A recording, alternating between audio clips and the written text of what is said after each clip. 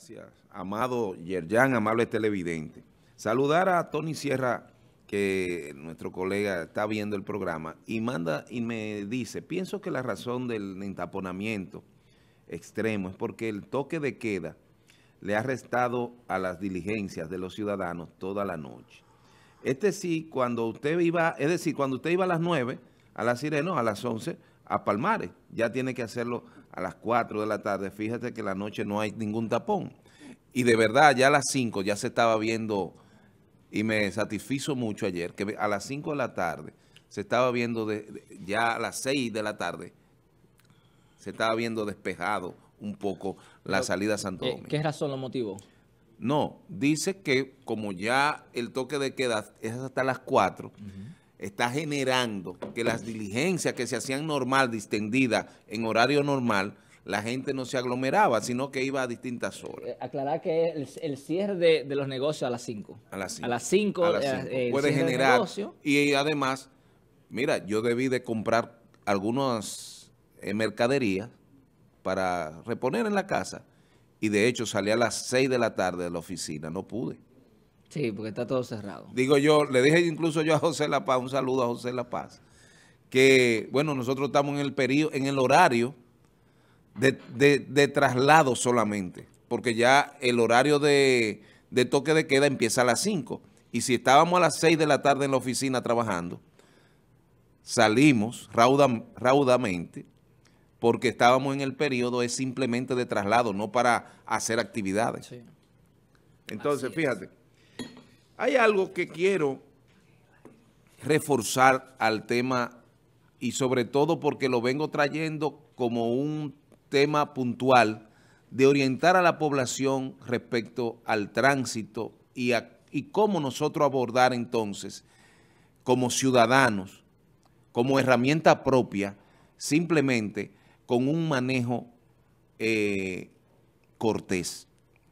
Sabemos que para trasladarnos ahora mismo en San Francisco de Macorís te puede tardar 15 a media hora en cualquier punto si tú estás de un extremo a otro. Que no era lo mismo 10 o 5 minutos antes. Pero sí se requiere de que haya participación activa del conductor en entender que todos transitamos hacia un lugar y que cuando encontramos una vía y estamos hacia ese lugar, volví a ver, volví y vi ayer un acto de dos conductores que son pésimos y no hicieron imprudencia, simplemente estaban en, se mantuvieron en el centro y luego en el extremo para doblar a la, a la derecha. Señor, si usted va a la derecha, manténgase en la derecha. Y yo pienso que, que va hacia yo pienso que va hacia la izquierda. Y el segundo carro, que creo que va hacia la izquierda, dobló para la derecha. Es lo mismo que si tú... Que si tú Tranca en el tránsito normal. Es, lo mismo que si tú vas a doblar a la izquierda y puedes hacerlo porque no hay ninguna limitación. Eh, hay gente que coge su, su izquierda para doblar a la izquierda y entonces se topa de frente con el vehículo que viene en la, en la intersección eh, eh, contraria, ¿verdad? Sí, de la derecha. Viene, que viene por su derecha. Y tú tienes que pararte ahí, hacer un tapón en lo que él hace. ¡Decida!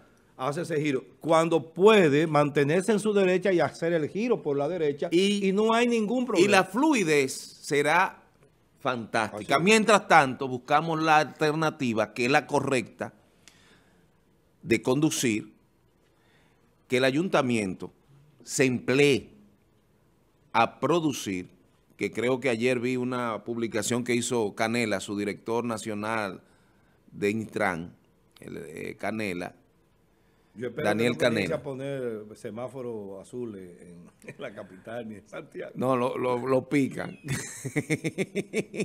Pero eh, eh, la, la, lucecita sí daban azules y era verde. Eran azules. Mire, entonces, es un semáforo extraño, ¿viste? Azulito se veía. Mira, entonces, cuando esto se da, estamos creando nosotros mismos el caos. Pero se requiere que el ayuntamiento participe activamente, por lo que decía Yayan y preguntaba, el Departamento de Tránsito tiene que ver con, la, con el rediseño el diseño, el mantenimiento de las rutas urbana, interurbana, de las paradas, de el tránsito vehicular en el municipio. Se encarga de señalizar correctamente las vías. Se encarga de trabajar los espacios destinados para parqueo. Es que el ayuntamiento tiene una fisonomía o una infraestructura para que opere todo un gobierno. Y es un gobierno en miniatura. Y estamos esperando, y espero que en este 2021, y le voy a dar mi consejo a Siquio, tengo una visita pendiente, para que se llame al departamento de tránsito del ayuntamiento y que se congregue al departamento de planeamiento urbano que tiene que ver con el urbanismo en la ciudad que tiene que ver con el orden de las construcciones y, demás. Porque se está causando daños o obstáculos que están previstos en el reglamento y en la ley 675 como en la ley del municipio. Pues entonces, debe emplearse el ayuntamiento a fondo para buscarle una alternativa y una viabilización a la ciudad de San Francisco de Macorís con esta carga nueva que tenemos de vehículos y con esta situación del límite de horarios que como decía eh, Difo, Sierra Difo, estamos presentando producto de estos límites y este horario reducido que nos hace aglomerar y llegar todos a resolver los, las diligencias. Sigo con el ayuntamiento.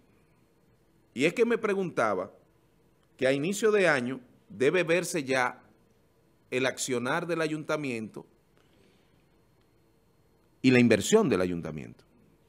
Y que tenemos una proyección de un presupuesto que fue entregado en tiempo hábil al Consejo de Regidores y no tenemos respuesta o no conocemos, a pesar de que me ha llegado una información que los regidores parece ser que no se han abocado a, a, aprobar este presupuesto en razón, oiganme esto, y atención Yarjan, Amado, para que me ayuden a entender esto, y aquellos que son versados en el tema de presupuestos. Yo mi parte, que fui regidor y que tengo la experiencia, lo coloco es en el entendido de que se está paralizando entonces la proyección de desarrollo que debe de tener con un presupuesto tan, tan amplio como el que se ha presentado por la alcaldía, que es quien tiene la obligación de hacerlo cada año. Ustedes saben por qué no se está aprobado el presupuesto, porque parece ser que los regidores le están indicando a Siquio que del dinerito que recibió del gobierno no se incluyó en el presupuesto o no ha hecho la, la partida presupuestada que integra ese dinero al presupuesto. Señores, se están, se están ofuscando. Eso es, un, eso es un dinero extraordinario. No puede estar en ninguna proyección presupuestaria. Porque eso se produjo a raíz de una solicitud del problema que tenía o que tiene la alcaldía perentoria de resolver el, mercado público. Por lo tanto, concéntrense en estudiar cómo se proyecta desde la planificación de la alcaldía el presupuesto de este año para San Francisco de Macorís y tomen en cuenta todo, la pandemia, las limitantes de las recaudaciones que van a tener porque no se va a poder recaudar todo porque no hay una actividad normal y cotidiana. Eso es lo que tiene que hacer el, el Consejo de Regidores, porque ya el presupuesto fue presentado. Ahora, cuando llega esta situación, que es una partida extraordinaria, con una adenda o con simplemente llevarlo con, con una especialización de, ese, de esos recursos que está destinado específicamente para el mercado. Y tengo entendido que el gobierno no le va a entregar o no le entregaría nada si no se diseña el presupuesto y el diseño que va a tener el dinero o que se va a emplear para el diseño que se va a costear. Es decir, que no hay razón, porque estos son partidas extraordinarias que no están proyectadas ni presupuestadas. Fácil, sencillamente, el Consejo deberá simplemente sancionar la parte de la ejecución de ese presupuesto que está diseñado por el en el gobierno.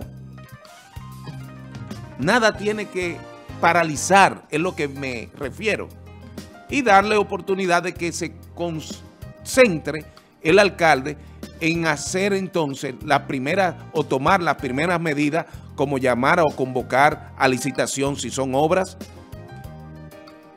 el pago de o el mantenimiento de parques, la misma gestión municipal.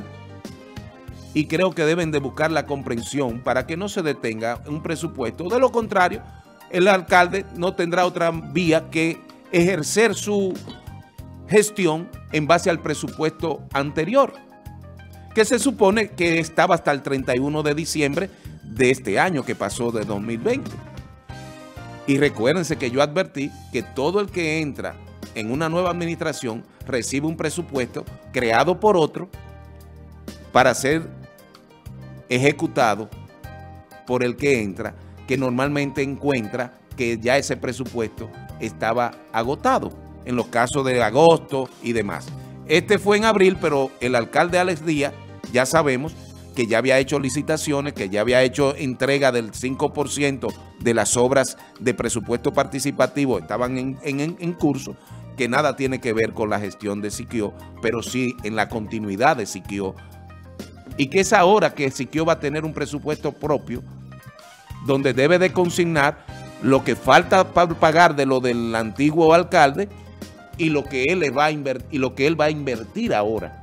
Entonces debemos ayudar a que el municipio se viabilice y el consejo no se, no se detenga o no se ofusque con una partida extraordinaria que jamás podía estar dentro de, este mismo presupuesto. Asúmanlo, apruébenlo y que se presente posteriormente ese adendo o esa entrega del gobierno central y también van a tener que revisar cuál es el diseño, el presupuesto del costo que va a tener esa inversión inicial en el mercado y démosle viabilidad a la administración municipal. Es sencillo.